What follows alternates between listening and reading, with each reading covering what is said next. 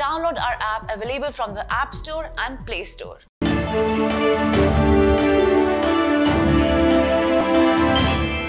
Hello and welcome to Medical Dialogues. I'm Roshni Dhar. Let's look at today's daily bulletin.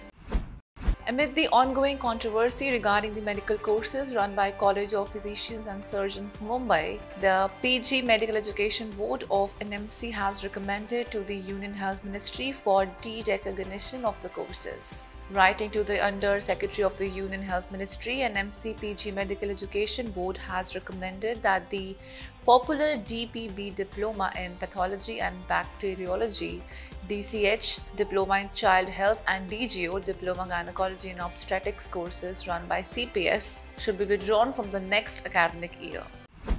The concept of doctors talking about their salaries has never been popular in a country like India, where healthcare is seen as a free service. Prioritizing patient safety and security over their own, doctors are often neglected when it comes to getting rightful salaries and quality facilities. They're often forced to work overtime for hours along with night duties, with many emergency surgeries and procedures per week having a low salary, which has become a current trend. It becomes even more aggravating when a person has spent between 50 lakhs to 1 crore on his medical education to get a lower salary package. The ad mentioned that the monthly salary for a clinical psychologist and a senior counselor would be rupees 20,000 while that of a male nurse, therapist and data entry personnel would be rupees 15,000 cook, security guard, office assistant, and medical officer would be given rupees 11,000 monthly. Requirements about the qualification and number of posts vacant at the center was also shared by the Addiction Cum Rehabilitation Center at Lekhi, Itanagar, that is backed by the Arunachal Pradesh government and is affiliated with the Union Ministry of Social Justice and Empowerment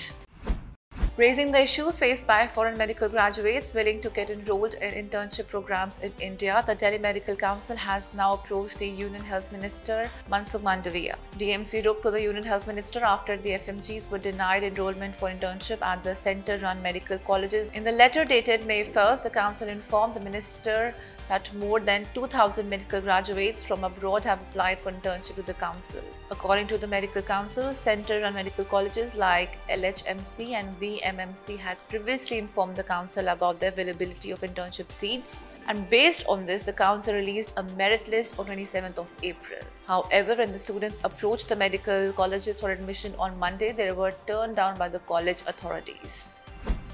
Women aged 55 years and younger have nearly double the risk of rehospitalization in the year immediately after a heart attack compared to men of similar age, according to a recent study.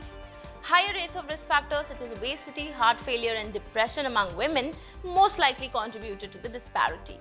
The study included 2,979 patients, 2,007 women, and 972 men at 103 US hospitals. The participants were an average age of 48 years and from ethnically and racially diverse populations.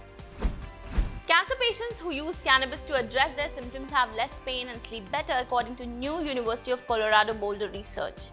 But they also experience another unexpected benefit. After a few weeks of sustained use, they seem to think more clearly. After a baseline appointment in which their pain levels, sleep patterns, and cognitions were assessed, they were asked to purchase the edible product of their choosing from a dispensary. Choices were surprisingly varied, spanning 18 brands including chocolates, gummies, tinctures, pills, and baked goods, and contained varying ratios of THC and CBD at a wide range of potencies. For people with cancer, chemotherapy saves lives, but for some patients, the treatment comes with a side effect heart damage.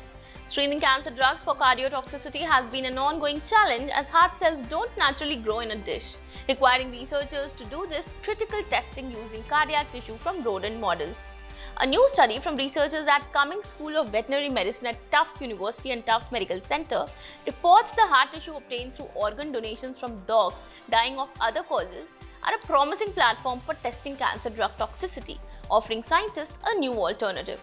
The organ donation program at Cummings School of Veterinary Medicine works the same as organ donation programs in people, with owners agreeing to donate the heart from their pet when they die of other causes in order to support research in animal and human health.